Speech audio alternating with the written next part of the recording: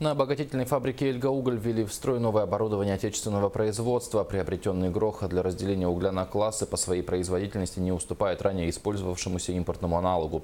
Всего на обогатительной фабрике Эльгинского комплекса установлено 10 грохотов. До проведения реконструкции все они были импортного производства. Замена американского грохота на отечественный аналог – первый шаг к импортозамещению на Эльге. В реализации проекта по установке российского оборудования участвовали специалисты проектного института «Мечел Инжиниринг».